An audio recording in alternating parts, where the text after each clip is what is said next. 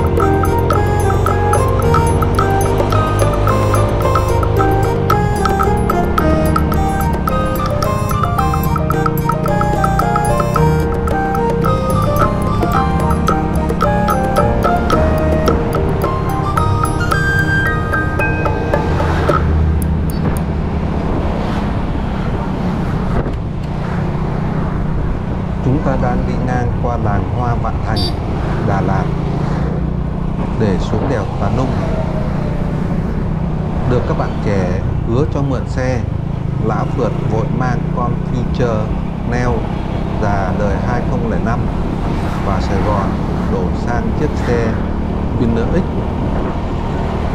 version 2